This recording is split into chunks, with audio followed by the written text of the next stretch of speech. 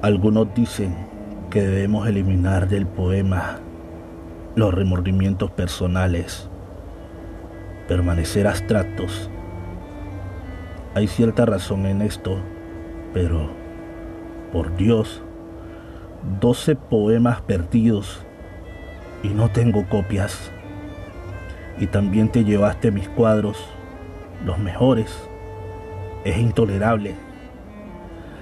Tratas de joderme como a los demás. ¿Por qué no te llevaste mejor mi dinero? Usualmente lo sacan de los dormitorios y de los pantalones borrachos y enfermos en el rincón.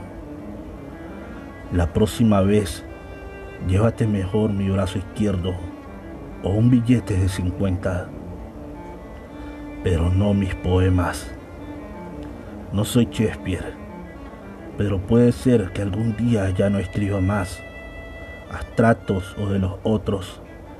Siempre habrá dinero y putas y borrachos hasta que caiga la última bomba.